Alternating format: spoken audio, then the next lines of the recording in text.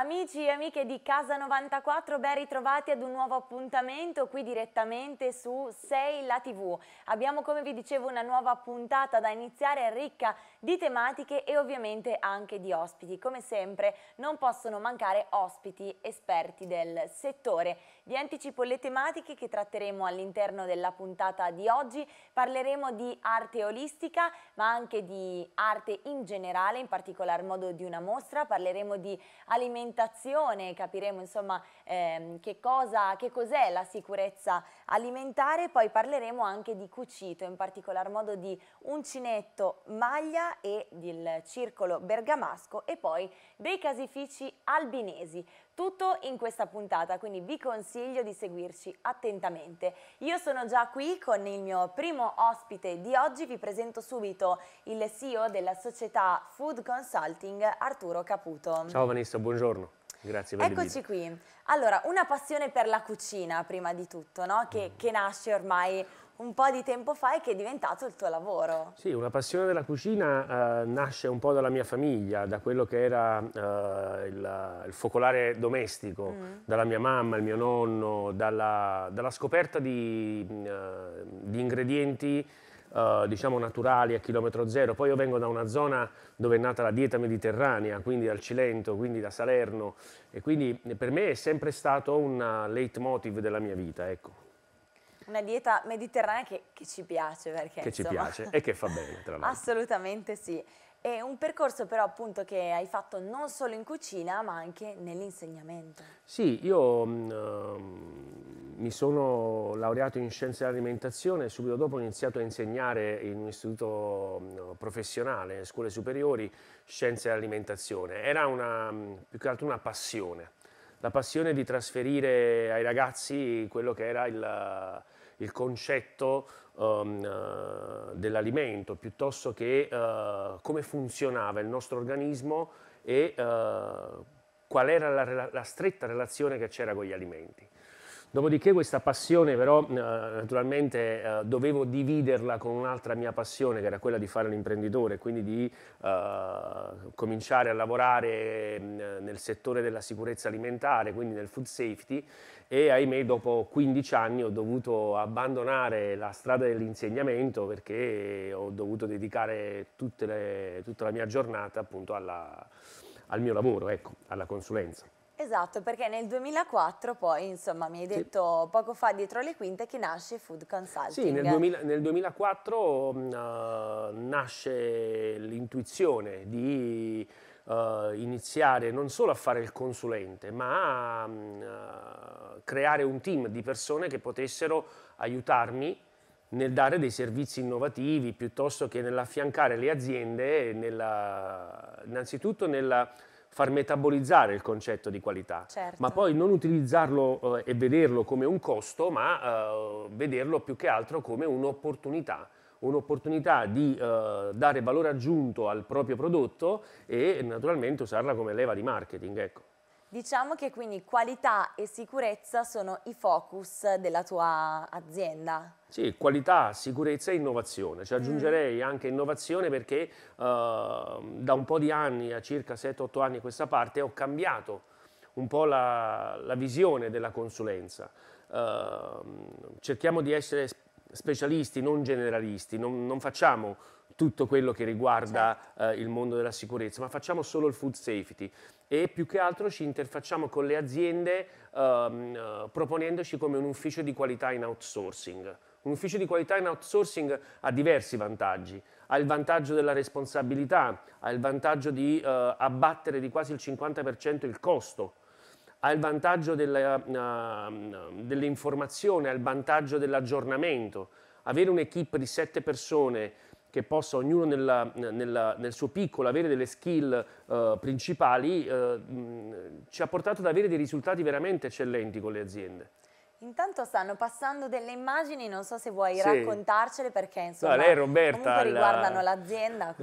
lei Roberta è una delle, delle, mie prime collaboratrici, lavora con me oramai da, da circa dieci anni ed è un po' la, una delle mie persone fidate, ecco, cioè nel senso che mi ha stata, mi è stata accanto dall'inizio fino ad ora nei momenti belli, nei momenti di sconforto. Uh-huh. E, e, poi qui abbiamo un po' tutta l'equipe, questa è la nostra sala formazione dove noi facciamo formazione perché la formazione noi la facciamo sia um, in presenza, quindi abbiamo una sala formazioni uh, con 30 posti e uh, sia in modalità asincrona, quindi uh, abbiamo appunto delle modalità e-learning di formazione.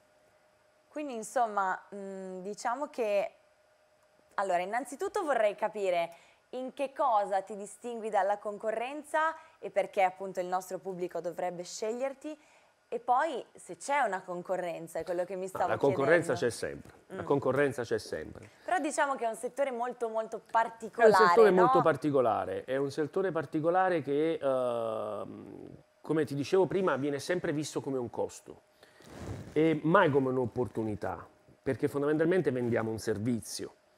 Però vendere un costo, vendere un servizio, come in questo caso una consulenza, vuol dire affiancare l'azienda nelle sfide uh, che possono sembrare più difficili. Uh-huh. Portare le aziende all'estero, um, uh, gestire la, la sezione documentale di qualità, di queste aziende che vogliono esportare il loro prodotto, che poi i nostri prodotti, come i prodotti delle valli bergamasche, sono uh, delle eccellenze ma non è facile andare all'estero, non è facile farli conoscere, non è facile farli entrare nel territorio nazionale certo. estero. E noi eh, supportiamo le aziende e lo facciamo in maniera anche abbastanza moderna, io la definisco un po' con una con una, mm, come un 4.0, cioè abbiamo creato un'app che gira in Android dove la, mm, la distanza tra la domanda e la risposta da parte del consulente si è ristretta molto e questo ci ha creato appunto di, um, la possibilità di poter gestire aziende in tutta Italia. Noi gestiamo aziende dalla Sicilia um, alla Lombardia certo. in maniera autonoma e in maniera naturalmente efficace perché poi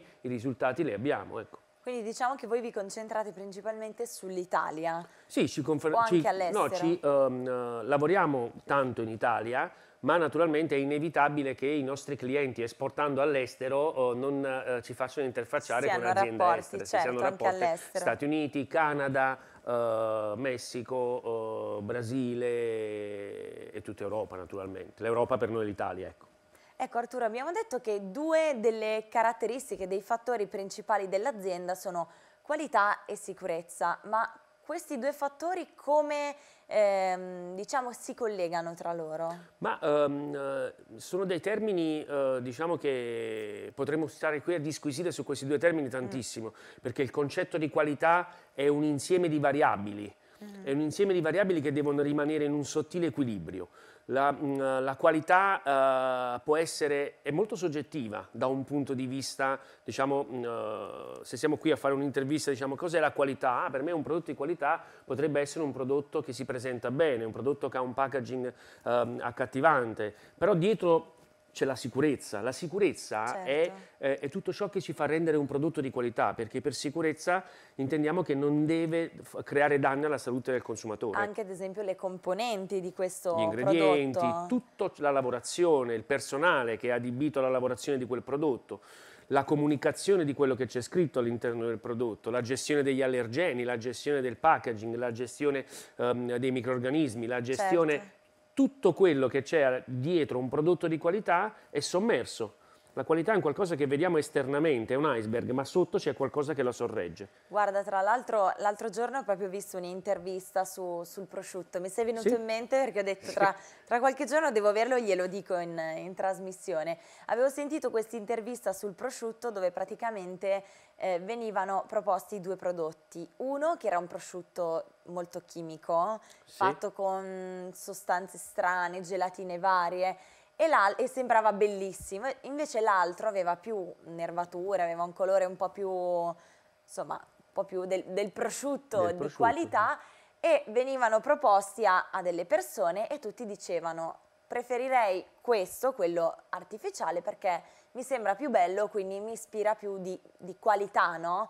E invece era Ma sempre quello sbagliato. Questa, perché la tendenza del consumatore, di noi consumatori, mm. perché io oltre ad essere un tecnico sono un consumatore, la tendenza è quella del bello. Oggigiorno funziona tutto ciò che è bello, ma non ciò che è buono, che è diverso. Ciò che è bello è, e fa il primo passo, ti incita ad acquistarlo, però magari poi quando provi le due cose, eh, io delle volte mi, mi, capita di sentire dei miei clienti che dicono ho una voglia di, di andare a mangiare un po' di polenta col salame, quello di una volta, col pane, quello di una volta. Il pane, il salame di una volta non era bello come è bello ora, ma sicuramente era più buono. Certo, è più sano forse è anche, sano, no? Ecco. E invece in che direzione sta andando Food Consulting? Come si, è, si sta evolvendo? allora, Food Consulting si sta evolvendo uh, mantenendo saldi quelli che sono i principi che ci hanno portato fino a qui. Uh mhm. -huh. Il principio è quello della, uh, del guardare avanti, del guardare avanti in maniera diversa, di non sederci su quello che stiamo facendo. Ogni, Uh, periodicamente facciamo delle riunioni, facciamo dei brainstorming dove cerchiamo di inventarci uh, un qualcosa che possa aiutare ancora di più le nostre aziende, perché abbiamo capito che il, il segreto è uh, aiutare le aziende in maniera uh, semplice, sostenibile e innovativa. La sostenibilità è un filone che stiamo abbracciando perché siamo una delle poche aziende che aiuta queste imprese alimentari a uh, certificarsi nell'ambito dello spreco alimentare, che per noi è una, è una questione più che etica, morale, ma è anche una soddisfazione portare i nostri clienti a raggiungere un obiettivo che in questo momento ha una sensibilità ed ha un'importanza veramente marcata nella, nella nostra società. E invece, insomma, già che ti ho qui, io concluderei la nostra intervista con questa domanda. Vogliamo il consiglio dell'esperto. Come vedete la consulenza nel settore food e come aiutate le aziende ad affrontare nuove sfide sui mercati? Se posso dare un consiglio alle aziende è uh, prendere coscienza. Prendere coscienza che siamo seduti su un, uh, su un forziere pieno d'oro e l'oro in questo caso è la nostra, uh, è la nostra nazione, la biodiversità, i nostri alimenti, le nostre culture, la nostra storia. Se, se, le aziende prendono coscienza che i nostri prodotti hanno un qualcosa che non esiste in nessun angolo della terra, è difficile che il Made in Italy possa essere surclassato, possa essere oscurato come tentano tutti i giorni di oscurarci, ma è davvero impossibile, è davvero impossibile. Allora Arturo ti ringrazio, diciamo che ci hai dato, ci hai illuminato sulla questione alimentazione, quindi mi raccomando non fidatevi solo di ciò che è bello. Grazie Vanessa. Ma deve esserci anche qualità e sicurezza, come ci Assolutamente sì. E leggiamo le etichette. Assolutamente, gli ingredienti importantissimi. Arturo Caputo della società Food Consulting, grazie, grazie per essere grazie. stato con noi. Rimanete anche voi con noi perché torniamo tra pochissimo.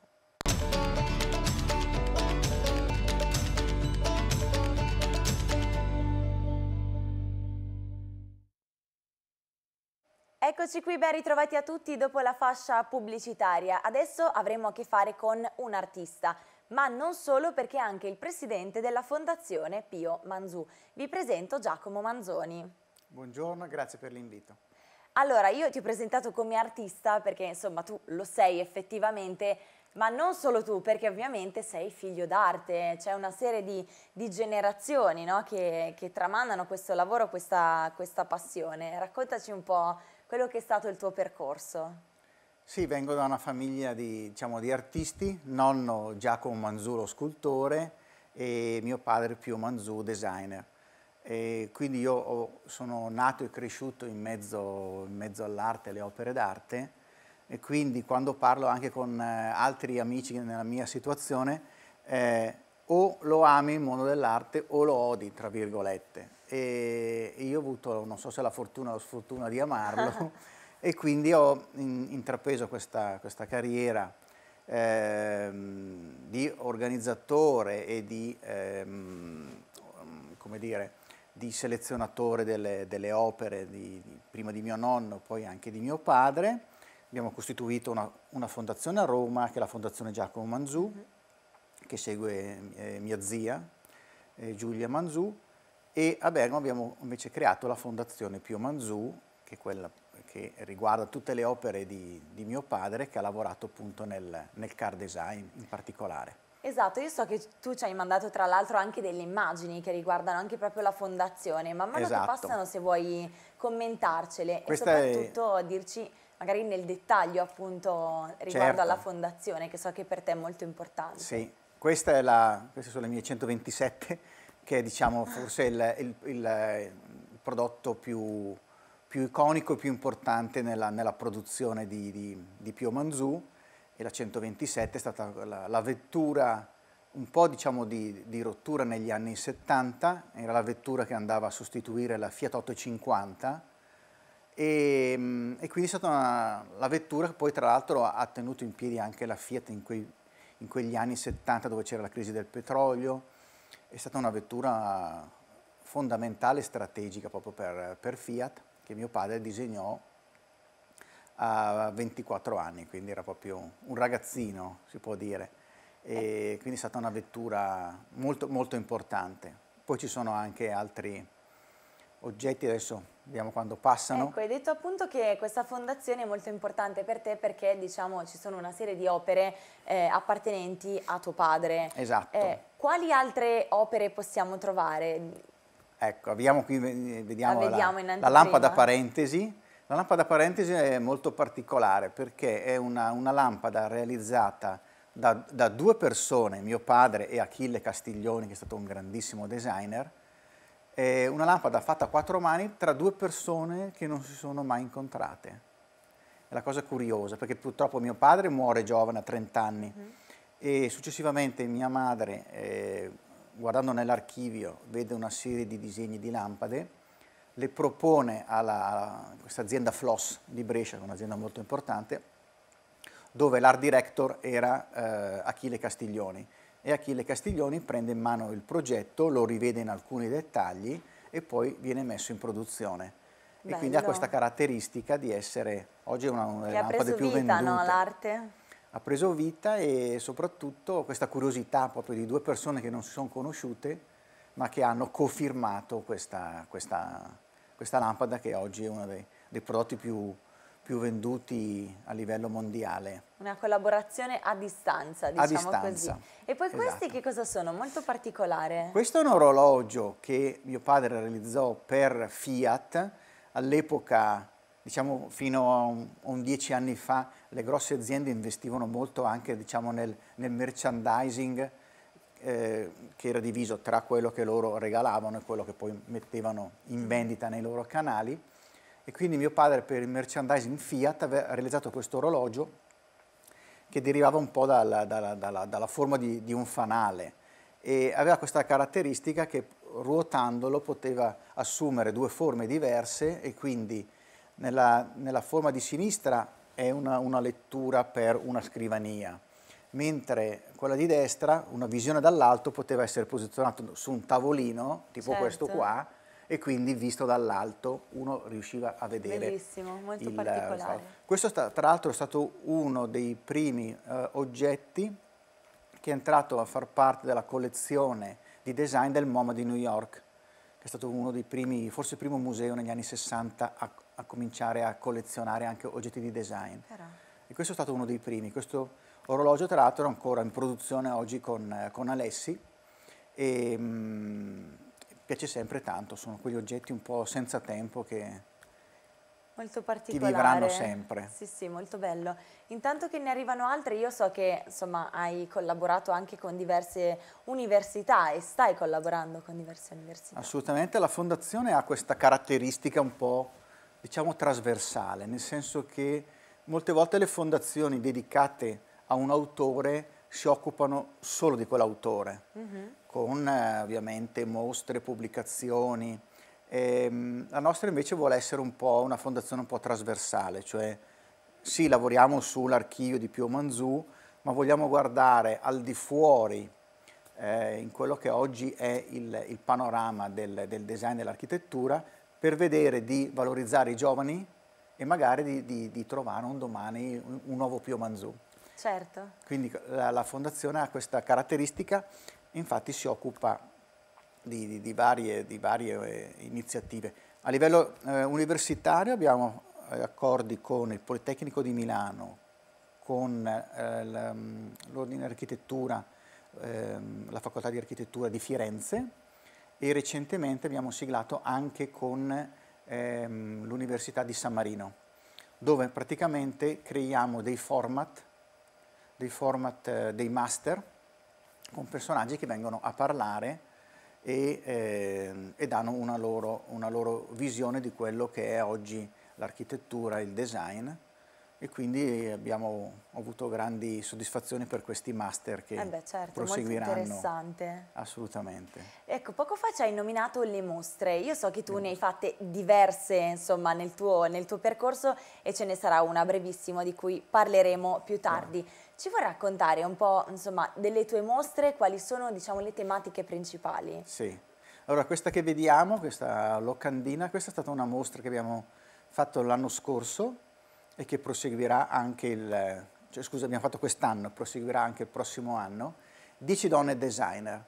Eh, con eh, l'amica Federica Sala, che è una curatrice, abbiamo selezionato 10 designer a livello internazionale, perché abbiamo, ci sono italiane, ma c'è una, una, una, designer colombiana, un'argentina, una svizzera.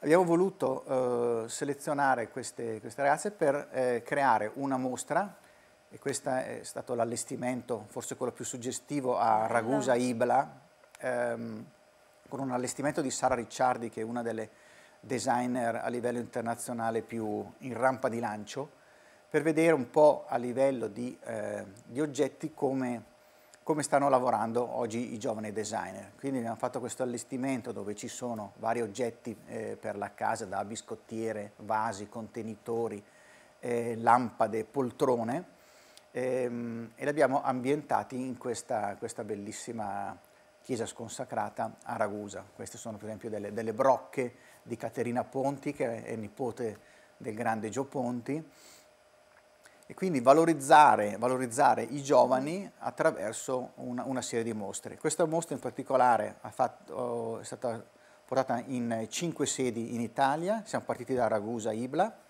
a maggio poi siamo andati a Potenza, poi siamo andati a Varenna sul lago di Lecco, siamo stati poi a Rimini e in ultimo a eh, Varese.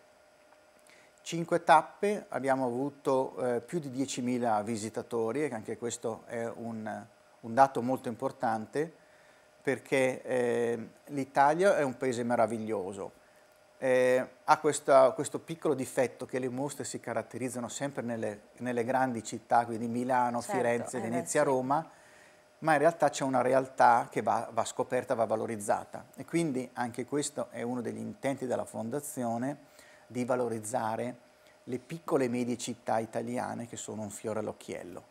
E il fatto che, di aver avuto più di 10.000 visitatori è un... Uh, un, un premio e anche eh, una, un, un, lavoro di valorizzazione che, che la Fondazione fa per il territorio nazionale.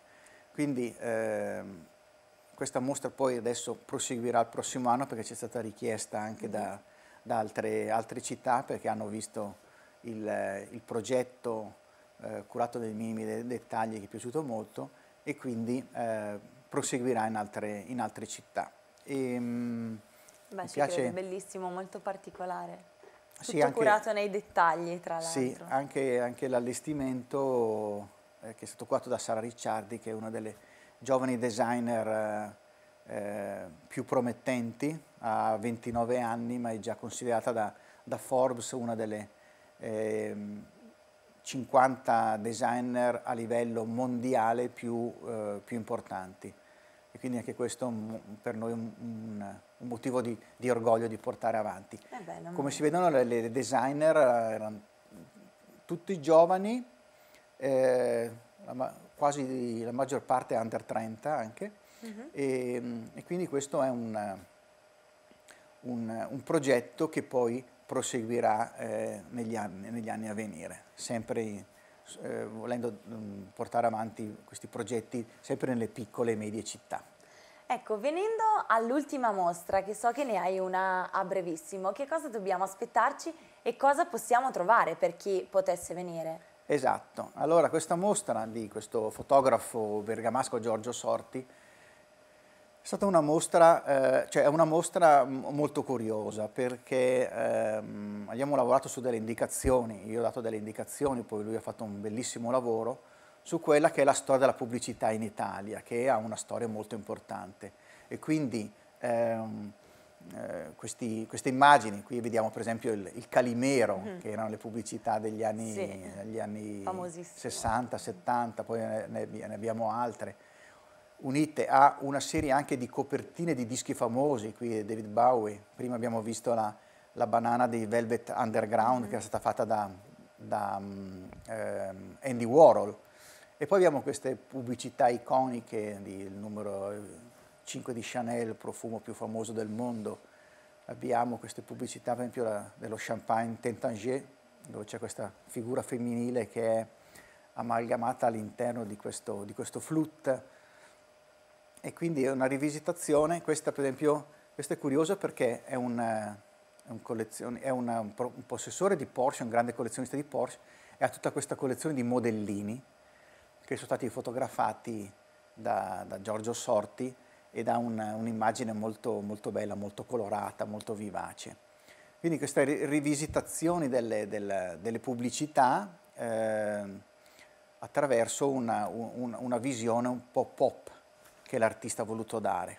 La mostra appunto si inaugura sabato eh, 19 novembre a Bergamo al Centro Culturale San Bartolomeo, mm -hmm. che è mhm. quello sul Sentierone, e rimarrà aperta fino al 4 di, di dicembre. E allora che dire, vi aspettiamo? Vi aspettiamo numerosi per visitare questa mostra molto curiosa.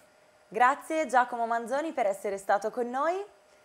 Grazie Insomma, a voi. Per chi potrà sicuramente eh, dopo questa intervista verrà eh, alla tua mostra.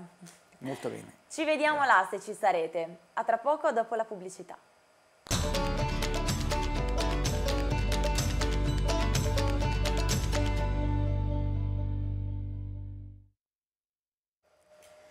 Eccoci qui ben ritrovati con un altro ospite, anzi parliamo al femminile perché adesso parliamo di maglia uncinetto e quindi insomma in generale di cucito. Ma io sono qui con Miriam Signorelli, la responsabile operativa delle attività e degli eventi al Circolo Bergamasco. Buongiorno, buongiorno a tutti, buongiorno Vanessa. Eccoci qui, allora come ho accennato poco fa, maglia uncinetto ma non solo e diciamo che insomma adesso ci racconterai tu bene di che cosa si tratta, io dico solo che è un'arte diciamo che, che, si sta un po' riscoprendo, no? Perché sì. era, era famosa un po' di tempo sì. fa e adesso insomma non la fa quasi più nessuno. Però tu mi dicevi che insomma le donne la stanno riscoprendo anche in un periodo molto molto particolare. Sì, sì, in effetti è proprio nasce l'esigenza di occupare il tempo facendo qualcosa di manuale in effetti e molto spesso in effetti la maglia e l'uncinetto aiutano proprio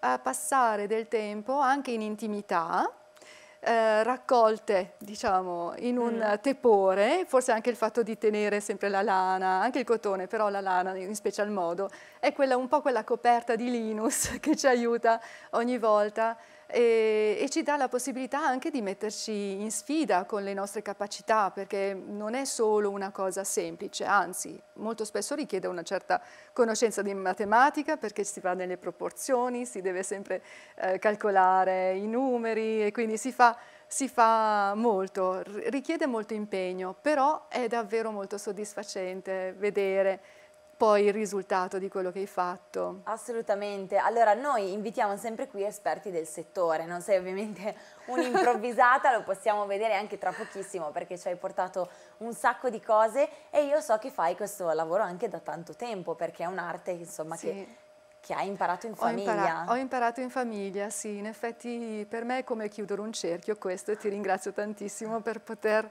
raccontare un po' la mia storia. Eh, mia mamma da quando ero piccola in effetti mi ha insegnato tutto quello che so e mi ha dato anche la passione in questa, in questa cosa. Mi ha insegnato a utilizzare l'ago, mi ha insegnato a utilizzare i ferri, l'uncinetto e ad aver, a persino a fare i vestitini per le bambole allora, per cui infatti ogni tanto Bello. mi prendo la stoffa e mi, e mi cucio un vestito ancora adesso anche se non è da sartoria, ma la faccio a modo mio. Certo. Um, e, e, questa passione mi è stata utile perché purtroppo mia mamma è venuta a mancare quando io ero molto giovane e proprio grazie al fatto che lei mi ha trasmesso questa passione è stata utilissima per me perché era come averla sempre vicina, il fatto di continuare. Quindi io ho prodotto moltissimi maglioni, sciarpe, cappelli per tutti, per me e per tutti, amici mm -hmm. e parenti, proprio uh, da quando è venuta a mancare. E lì ho realizzato anche adesso,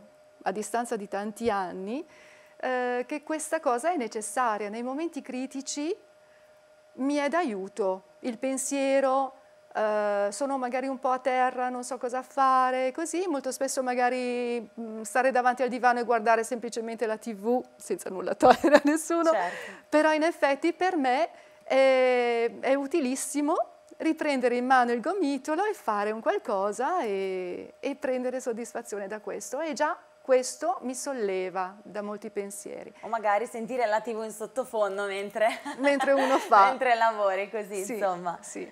E, e, vedo, in effetti poi la mia storia è questa, io non sono una maestra professionista, lo faccio perché, perché ho, ho, avuto, ho incontrato nella mia strada il Circolo Culturale Minardi, uh mhm. -huh. con cui ho iniziato a collaborare molti anni fa il circolo nasce da un'idea eh, voluta dalla cooperativa Italo Uberti, che è proprietaria dello stabile dove il nostro salone si trova, in Borgo Santa Caterina.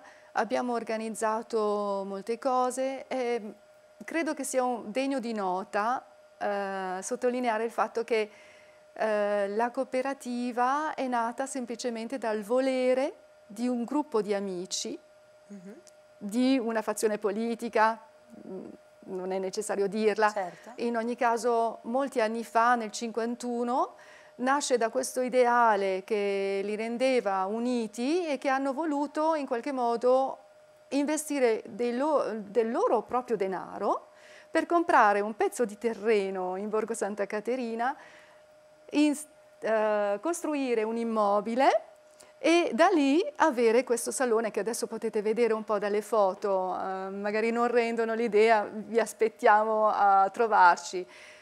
Diciamo che hai rinnovato un po' il circolo, no? Sì, sì. l'hai modificato un po' perché originariamente appunto non era così, avevi detto che era un ritrovo insomma per eh, assemblee politiche, politiche, culturali eccetera e adesso è appunto un, circolo dove si può fare che cosa? Dove si può fare un po' tutto, in effetti. Abbiamo realizzato laboratori creativi, eh, hanno partecipato bambi con bambini So che si parla anche l'inglese. Sì, abbiamo dei corsi di conversazione di inglese, abbiamo realizzato anche corsi come questo, lo speed date l'ho chiamato, ma in realtà era un appuntamento pomeridiano in cui ciascuno di noi eh, parlava uno con l'altro in varie lingue, quindi c'era l'appuntamento all'inglese o in inglese o in francese così e l'abbiamo realizzato come speed date.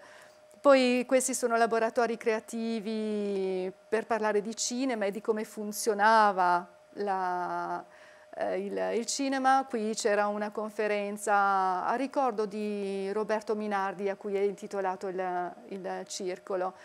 E, e, poi insomma ovviamente non può mancare anche il lavoro alla maglia all'uncinetto, giusto? Sì, sì, in effetti da lì eh, diciamo che il circolo quando sono venuti a mancare proprio le persone che hanno dato vita alla cooperativa, al circolo culturale Minardi, mh, mm, purtroppo sono venute a mancare e c'è stato un momento di crisi, siamo ripartite, siamo ripartiti, ci siamo guardati in faccia, che cosa sappiamo insegnare? Io sapevo insegnare, me la sentivo di insegnare maglia all'uncinetto e quindi ho lanciato l'idea e sono venute parecchie persone, di tutti i tipi, ecco, di ogni so genere. So che collaborate anche con eh, delle altre associazioni e siete riusciti a coinvolgere una categoria, diciamo, un po' più difficile, che è sì. quella appunto degli adolescenti. Sì, sì. In che modo?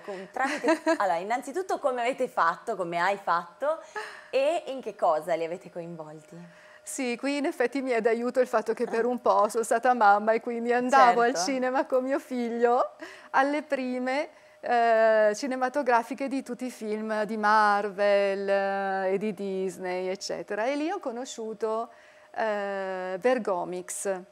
Leonardo um, Mozzo Compagnoni e quindi con lui ogni volta ci parlavamo, gli, gli dicevo ma dai facciamo qualcosa insieme, quindi ci siamo conosciuti parecchio e infatti con, con Leonardo abbiamo deciso, gli ho detto chiaramente io ho bisogno di raggiungere una una, questo pubblico che sì, ci questo manca. pubblico che ci manca, ci aiuti e così insieme abbiamo realizzato alcune attività. Come vedete Star Wars, qui c'era anche Philip eh, Colangelo, uno dei nostri insegnanti di inglese, che ha partecipato perché lui è, è proprio un fan di Star Wars, ah. conosce tutto e quindi ci ha, ci ha regalato questa serata su Star Wars e abbiamo collaborato con, così come con Bergomix, con tante altre associazioni. Allora, tu oggi ci hai portato un po' di tue, diciamo, creazioni. Sì. Allora, guardiamole insieme perché sono bellissime, io le faccio vedere e tu ce le racconti. Ah, sì, questa è, un, è, una borsettina che ho realizzato uh, grazie al fatto che ho partecipato io stessa a un, a un corso di uncinetto freeform, si chiama. Freeform perché? Perché si possono utilizzare tutti, tutti i punti dell'uncinetto e assieme si può creare una realizzazione anche artistica, si può dire. Poi io non ho la pre... un bellissimo maglioncino. Sì, un maglioncino che ho tenuto via, bimbi. chiaramente l'avevo fatto per mio figlio quando era in attesa, naturalmente questo è per un anno o due o tre, l'ha usato parecchio e si è anche un po' ingrandito con lui, però l'ho tenuto via a ricordo. È bellissimo. Grazie. Poi abbiamo un po' di cappellini, di... Sì. faccio vedere un po' insieme, così. Ah, sì. Che questi sono più piccoli. Questi sono piccoli laboratori che noi realizzeremo, sono dei guantini che ho questi fatto l'anno scorso, sì, queste sono ultime creazioni in effetti eh, dei guantini senza, senza, dita proprio perché così c'è più utile per il cellulare. Ah, beh, sei avanti. Questi sono, sono quindi, per gli adolescenti, sì. come dicevi tu. Questa è una Poi, sciarpa. Per stare in tema, esatto. Sì, è una sciarpa, in effetti qui non, non, non è, diciamo, è un mio lavoro, è fatto abbastanza bene, però devo Beh. dare atto che è il tipo di filato che aiuta molto in questo senso, bisogna dire che il tipo di filato ogni volta si sceglie. Allora Miriam, non sminuirti perché cioè, voglio dire... No, è giusto, è giusto fai, dirlo. Fai delle cose bellissime, questo è molto Grazie. particolare, bellissimo. Sì, sì, sì, questa è la tecnica amigurumi all'uncinetto, nel nostro gruppo, il gruppo di cui faccio parte, sono bravissime, molto più brave di me, devo dire. Eh. Quindi io sono, ho preso soddisfazione, colgo soddisfazione adesso dall'insegnare a delle persone a diventare anche migliori di quello che sono io nel, nel realizzare le cose. E Questa poi abbiamo una, una bellissima borsetta. Sì, realizzata per contenere tutti gli uncinetti, infatti è pesante, vero? Sì, è pesante molto. perché il contenuto è pesante. La terrò sì. con due mani. Quanto ci hai messo a realizzarla? Cioè, quanto ci metti a fare queste cose? Ma diciamo che per quanto riguarda la borsa forse si tratta di 10-12 ore okay. di tempo. I girasoli eh, chiedono un po' più di tempo, ma non so, potrei averne fatto uno ogni due sere mh, mm, di divano, diciamo. E poi dai, guardiamo quest'ultima sì, questa... che è una copertina molto carina. Sì, l'avevo so, realizzata. La vedere bene. Ecco, in effetti... Copertina. Chi... Sì, una copertina. Era più che altro un quadro che avevo realizzato quando ero in attesa di mio figlio. Perché quando, e questo in effetti ci tengo a dirlo, certo. chi si avvicina al, ai corsi di maglia uncinetto, arrivano uh, molte persone con varie esigenze, chi alcune volte anche persone che hanno bisogno di dimenticare quello che sta succedendo nella loro vita e hanno bisogno di svagarsi e quindi si approcciano perché per una malattia o qualche necessità propria vogliono cambiare idea, vogliono svagarsi. E altrimenti ci sono tantissime giovani che si approcciano alla maglia all'uncinetto perché vogliono fare la copertina per il bambino di cui sono in attesa, quindi si, a, si avvicinano a questo e quindi questo l'ho portato perché anch'io, io sapevo già fare la copertina ma ne ho fatto di un altro tipo. Hai fatto bene. Perché ero in attesa. Io so Miriam che per te è molto importante anche la collaborazione che eh, hai in atto con Viva Vittoria. Sì. Innanzitutto che cos'è per chi non la conoscesse e che tipo di collaborazione avete instaurato? Sì, eh, con il gruppo di cui, beh, partiamo dal fatto che alcune persone che sono venute da me ad apprendere a fare la maglia e l'uncinetto sono rimaste legate nell'arco di 15 anni da quando iniziato, abbiamo iniziato. In effetti si è creato un bel gruppo, coeso, molto eh, amic amicale e da lì a un certo punto ci siamo guardati e abbiamo detto facciamo un qualcosa per la città e quindi abbiamo selezionato un progetto che tra l'altro vedete qui nello sfondo con le foto delle coperte. Abbiamo selezionato il progetto e fra tre progetti che avevamo esaminato abbiamo selezionato il progetto di Viva Vittoria. Viva Vittoria è un'associazione di volontariato nata a Brescia nel 2015 e loro hanno ideato questo progetto, quello di realizzare, grazie all'apporto di quadrati che arrivano da ogni dove, Uh, un laboratorio di cucitura, come si vede dalla foto, in cui abbiamo unito questi quadrati insieme a gruppi di quattro. Abbiamo realizzato delle coperte nel 2019, questo è il gruppo organizzativo uh, del, del, 2019 e abbiamo realizzato in quel caso noi a Bergamo 2000, no, 3.737 coperte, lo ricordo ancora 37-37, ehm, che abbiamo mm, messo a disposizione in vendita mm, per una raccolta fondi a favore dell'associazione Aiuto Donna, che tra l'altro diciamo, nel mese di novembre sappiamo Ecco, questo, il, mm, il ricavato 77 mila euro è stato, uh, è stato donato tutto all'Associazione Aiuto Donna che interviene sia a livello psicologico che di aiuto effettivo per le donne in difficoltà eh, nelle, in famiglie maltrattanti e questo è stata di grande soddisfazione. Ecco, per chiudere la nostra intervista io ti chiederei una cosa che so che per te è molto importante perché hai dei progetti futuri che riguardano tra l'altro anche queste, sì. queste, fasce, no? Sì. Se vuoi prenderle e farcele vedere intanto sì. ci racconti il tuo progetto. In effetti, proprio partendo dal progetto mm. di Viva Vittoria Bergamo che abbiamo realizzato, si è instaurato un bellissimo rapporto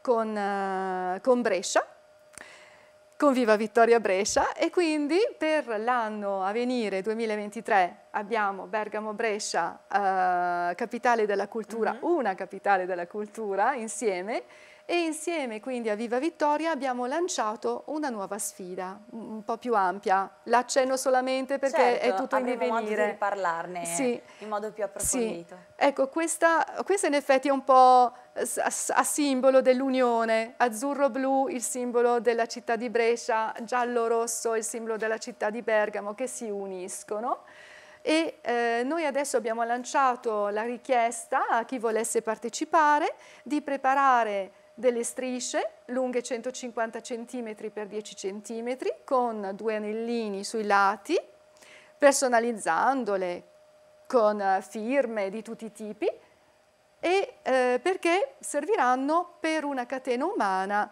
che svilupperemo in giugno dell'anno prossimo, ma avremo modo di parlarne. Al momento chiediamo l'aiuto per realizzare queste strisce, che chiediamo che ci contattino Assolutamente, Miriam, grazie per essere stata con noi, come dicevi tu poi avremo modo di parlare di questo nuovo progetto, grazie quindi per averci insomma, raccontato Gra e averci fatto anche un po' riscoprire qualcosa che insomma non dico che era finito nel cassetto per molti però eh, era un'attività insomma che, che, purtroppo, dico così perché è un'attività bellissima, eh, oggi purtroppo è, è poco in uso. Sì, spero tanto noi siamo a disposizione, grazie per l'ospitalità. Grazie, grazie a te. Restate con noi, un minuto di pubblicità e torniamo con tante tematiche.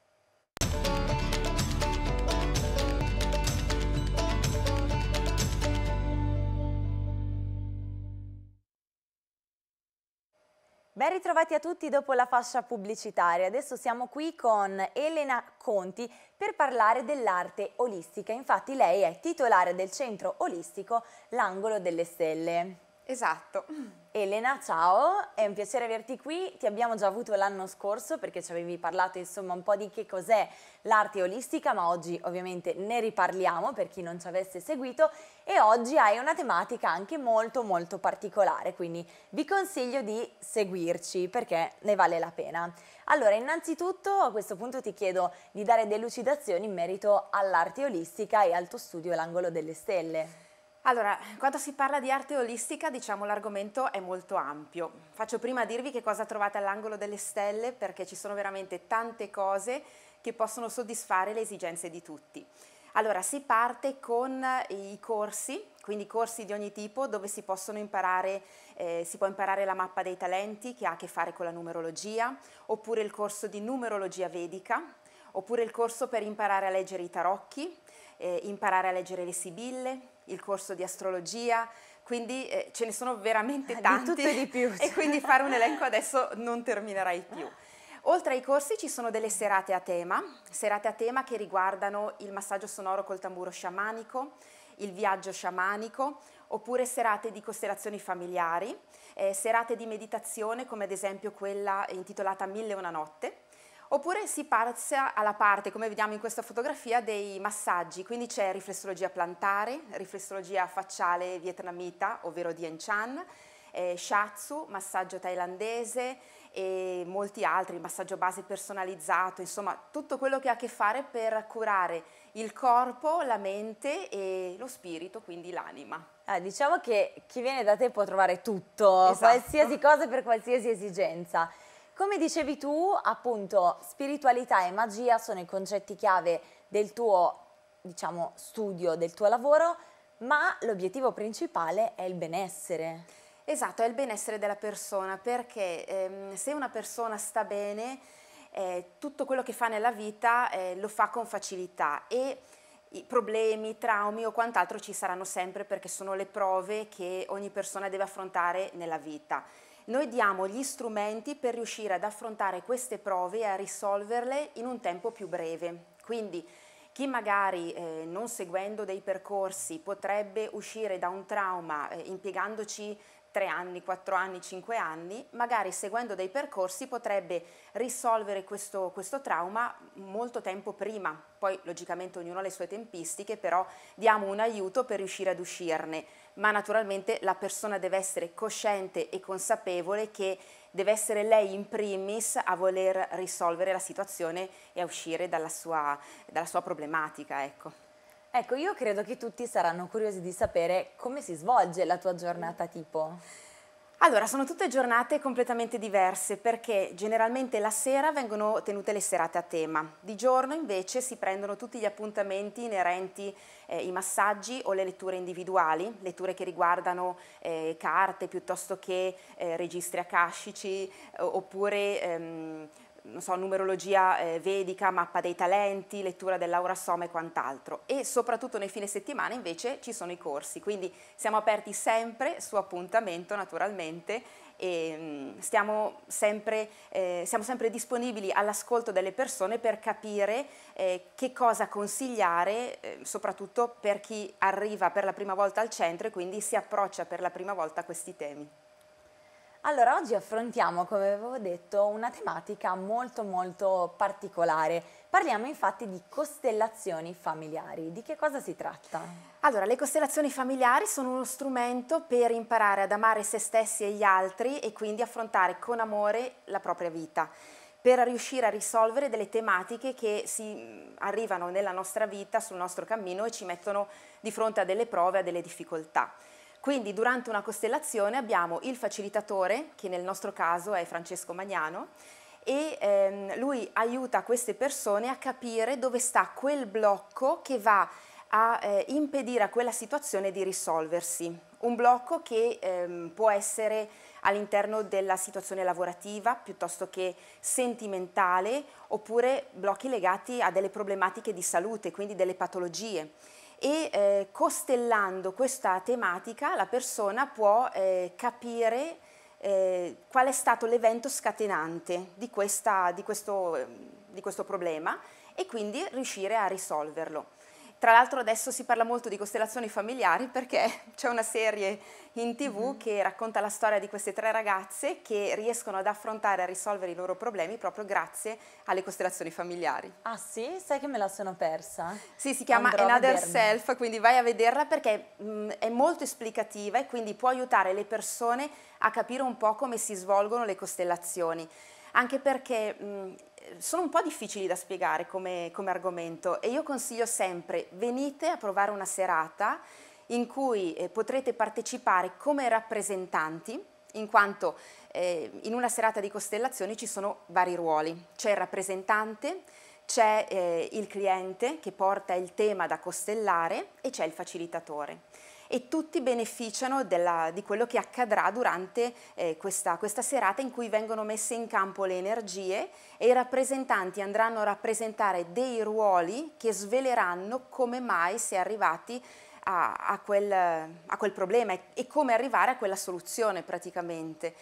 Quindi eh, essere presenti, eh, vedo che allora, quando parlo alle mm. persone e mi dicono ma sai, non riesco a capire bene come funziona, una volta che hanno partecipato a una serata poi restano stupiti di come l'energia eh, può lavorare e davvero trasformare quello che, che, accade nella serata. È Perché una cosa appunto fantastica. tutti abbiamo un'energia, no? Forse ne abbiamo sì. già parlato l'anno scorso, ma insomma, dato che tu sei l'esperta, magari raccontaci un attimino. Beh, siamo tutti collegati, quindi durante una costellazione familiare si crea questo campo morfogenetico in cui le informazioni passano attraverso l'energia e quindi arrivano alla persona che va a interpretare eh, un tipo di personaggio. Quindi sono familiari proprio perché si va a lavorare sulla famiglia d'origine ma anche sull'albero genealogico e poi si può lavorare anche sulle problematiche di lavoro, oppure una persona non riesce a trovare lavoro perché c'è un blocco e ogni volta lo trova ma viene licenziata,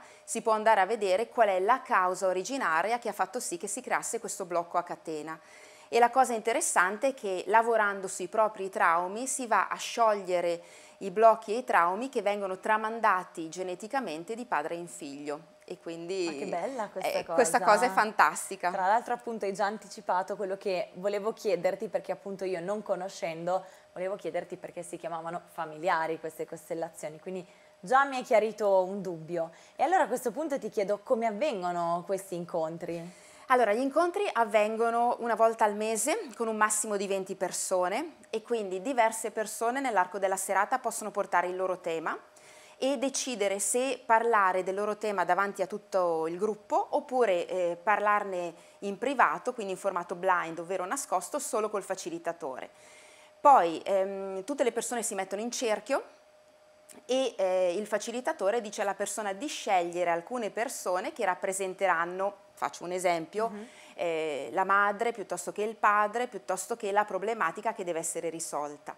Queste persone verranno messe al centro della sala e inizieranno a sentire eh, delle emozioni particolari, quindi poi il facilitatore chiederà di esternare queste emozioni e poi da lì via via si andrà a scoprire eh, dove sta il, il nodo che si deve sciogliere e quindi invito anche te a venire magari, eh, adesso le prossime le faremo il 18 novembre, quindi non resterai delusa, vedrai se, se verrai a provarle. Assolutamente. assolutamente, quindi per chi volesse venire, io so che tu hai degli incontri a breve, giusto? Esatto, quindi il 18 novembre, che è un venerdì, mm -hmm. inizieremo alle 17, per chi invece eh, alle 17 non ce la fa può venire alle 20.30, perché la sessione di costellazioni durerà tutta la sera. E poi un altro appuntamento sarà il 2 dicembre, che è sempre un venerdì, sempre stesso orario, e poi man mano ogni mese, eh, le mettiamo una volta al mese, quindi c'è il calendario che potete trovare sul sito. Quindi seguitela eh, per maggiori aggiornamenti, ovviamente per tutte le informazioni. Grazie per essere stata con noi Grazie. e averci raccontato questa disciplina molto particolare ma molto molto interessante. Grazie a voi per avermi eh, accolto anche questa volta. Vi lascio l'indirizzo del sito che è www.langolodelestelle.it così potete andare a vedere tutte le cose che proponiamo. Restate con noi perché come sempre manca un ospite. Tutti i dettagli tra pochissimo.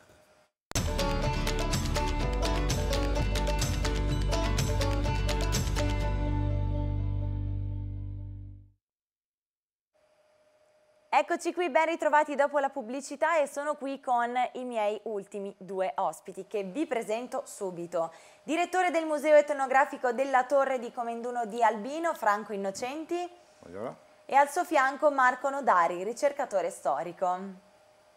Eccoci qui, allora oggi parliamo di Museo Etnografico della Torre di Comenduno. Franco, parto da te. Innanzitutto che cos'è per chi non lo conoscesse? Ma è un... Eh è un luogo, è un'istituzione, nata 33 anni fa, quando alcuni cittadini di Comenduno hanno visto che in effetti la vita di un, di un tempo stava sparendo, mm -hmm.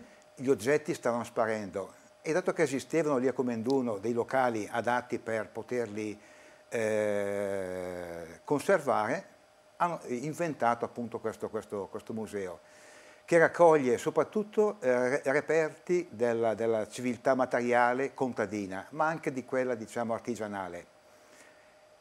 Una delle attività principali del museo comunque è quella di istituire ogni anno una mostra diversa su tematiche ambientali, su tematiche diciamo, etnografiche o storiche e di presentarla al pubblico eh, sempre accompagnata da, da una pubblicazione utile soprattutto alle scolaresche. Il grosso dei, dei, dei, fruitori dei servizi del museo. Ecco appunto, volevo proprio chiederti chi può visitare il museo, è aperto a tutti? Il museo è aperto a tutti, la domenica pomeriggio dalle tre e mezza alle sei e mezza.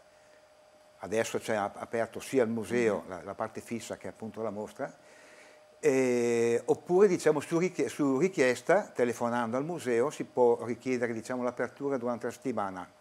E chi li utilizza eh, sono soprattutto le scolaresche. Ecco, so che ci sono diverse attività che, che organizzate no, all'interno del museo.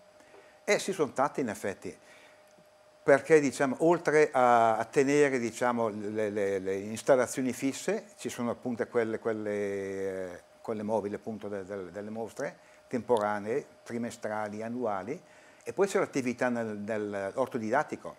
Abbiamo un orto didattico di 800 metri quadri, molto grande, eh, di proprietà comunale tenuto dalle scuole elementari e lì eh, i ragazzi delle scuole, con i loro insegnanti, con eh, i volontari del museo, coltivano frumento, coltivano grano turco, coltivano uva, coltivano ortaggi, quando sono in terza, poi le patate e, e, il, il, grano turco quando sono in quarta lo portano al museo, lì poi viene, eh, si fanno ancora le spalere come una volta, lo si essica e poi quando è secco lo, lo si eh, sgrana con gli attrezzature del museo e poi si va a Cerete dove esiste l'unico praticamente, l'unico mulino ad acqua e pietra della Bergamasca e lì vedono come l'acqua riesca a macinare il loro grano turco per farlo diventare farina da polenta e poi se la portano a casa e la festa di fine anno una grande polentata qui ragazzi. buona mm. la polenta, mm. poi insomma tipica dell'autunno-inverno, no? Quindi, esatto, insomma, sì.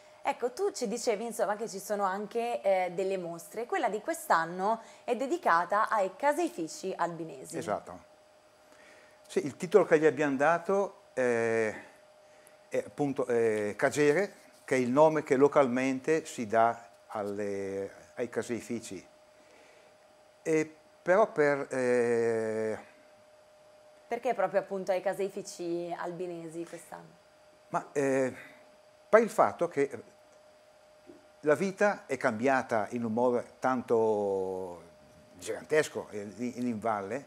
Se andiamo, eh, andiamo, su queste eh, foto, qui vediamo praticamente vediamo una foto fatta mm -hmm. negli anni 30, è fatta da, dal campanile di, di, eh, di Desenzano eh, e vediamo il monte completamente spoglio di vegetazione lì si ricavava il fieno magro, fieno magro falciato con la falce fienaia o col falcetto dove non possibile. Guardiamo la parte, no, eh, torniamo alla foto di prima. No, quale prima? Eh, ce ne Questa. sono tantissime, ce ne hai mandate tante belle e insomma vogliamo dire da casa che c'è un confronto tra il passato e quello che adesso. Esatto. come è cambiato insomma certo. nel corso degli anni. Qui vediamo appunto in, nel, eh, sulle zone preiniziali campi e, e, prati, andiamo alla seguente. Ecco, vediamo la stessa foto fatta allo stesso punto. Mamma mia. Sul monte, eh, il monte è completamente coperto da un bosco incolto e il piano è completamente coperto da case, da fabbriche, da strade. I campi sono spariti. Se pensiamo che nel 1930 esistevano ad Albino quasi 700 ettari di, di, di, di campi, campi coltivati frumento e grano turco. Adesso non c'è assolutamente più niente. C'erano 400 eh, ettari di castagneto da frutto ed erano tantissime le famiglie che vivevano della, del, del, del, eh, della coltivazione e della vendita delle castagne. Non c'è più niente. Certo. L'unica attività che è rimasta è la zootecnia, per cui allevamento di bestiame e produzione di, di, di, di formaggi. Ed è da questo che nasce in effetti l'esigenza di mostrare che cosa è cambiato. Certo. Dimostrare cosa è cambiato e di eh, valorizzare anche quello che esiste attualmente. Perché sono tanti i giovani che si sono messi eh, in, gioco. in gioco ed hanno ripreso le antiche attività del passato. Allevano bestiame, producono formaggi e sono eh, diciamo, la parte attiva per riuscire a mantenere il, poco, il verde che, che, è rimasto. Io so che oggi ci hai portato due eh, diciamo, attrezzi molto molto curiosi. Intanto che li prendi io volevo parlare con eh, Marco, eh, Marco Nodari e chiederti com'è nata la vostra collaborazione perché so che oggi tu ci parlerai anche del libro. Sì, esatto. Eh, diciamo, l'idea di questo libro è nata lo scorso anno e possiamo dire per merito di una caldaia in rame di 5 quintali, quindi una, una caldaia abbastanza importante. Eh, perché questo? Perché un giovane contadino che si chiama Alessandro Breda, è titolare della sua azienda Cadestrongia, così detta, eh, che ha, ha, la sua attività nella frazione di Abbazia, eh, lo scorso anno ha recuperato da un privato una vecchia caldaia che era stata utilizzata proprio 70-80 anni fa in una delle cagere latterie della Valle del Luio. Alessandro l'ha rimessa a nuovo, eh, essendo in, in, ottimo stato, e tuttora la sta utilizzando per, per produrre i suoi latticini perché ha la sua eh, attività.